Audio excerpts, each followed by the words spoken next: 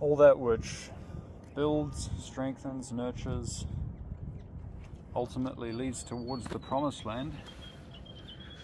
All that's correct, isn't it?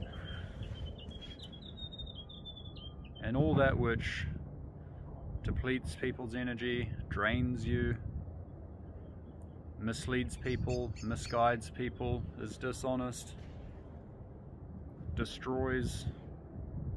Well, that stuff's all wrong, yeah?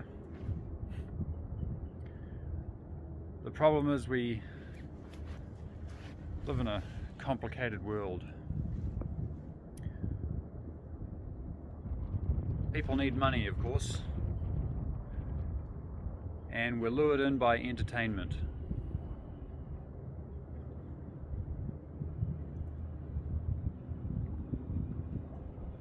Which narratives that are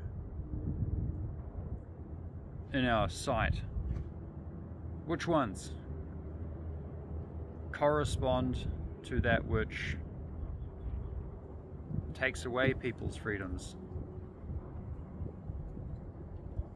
restricts people's movement, teaches people that humans are essentially the problem, teaches people that there is no solution except further restricting people's freedoms, taking away people's rights, electing some AI technocracy as the solution. Is it possible that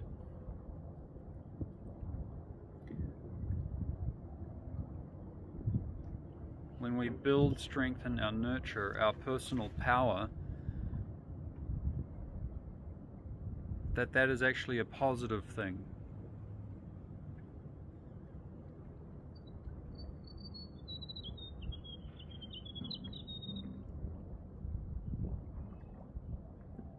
Why should we take away freedoms, restrict people's rights, if all that stuff obviously creates a situation where people don't have the ability to empower themselves?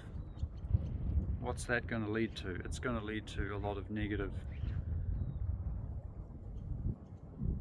circumstances.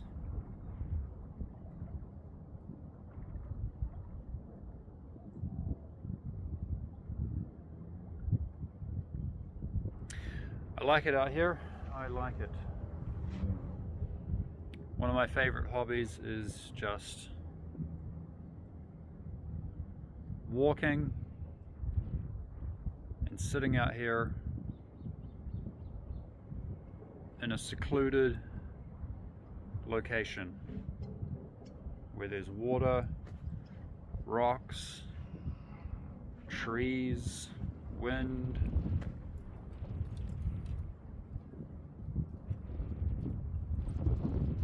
gives me space to think.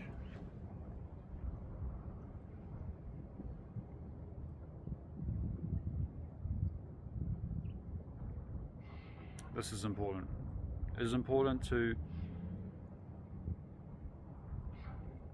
foster an environment where the mind can be open to all possibilities and not just closed in on one particular narrative.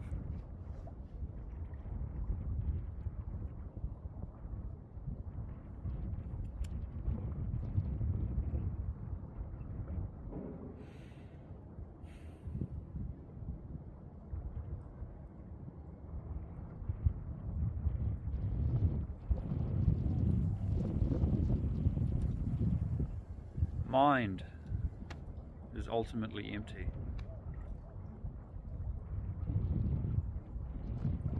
And energy is ultimately absolute. Therefore, anyone who can be identified as anything in particular is not empty. They are not mindful. And any power source which is confined, restricted, limited is not absolute. It is not an absolute energy.